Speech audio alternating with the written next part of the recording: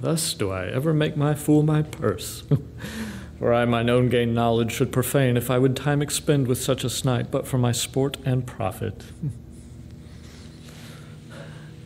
I hate the Moor.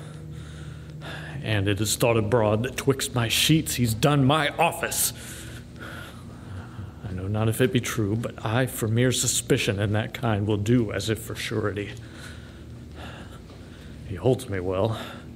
That better show my purpose work on him.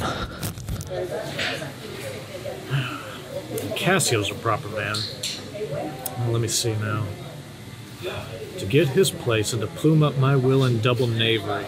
But how? How? Let me see. Hmm. After some time, to abuse Othello's ear that he is too familiar with his wife. he hath the person in a smooth disposed to be suspected, framed to make women false.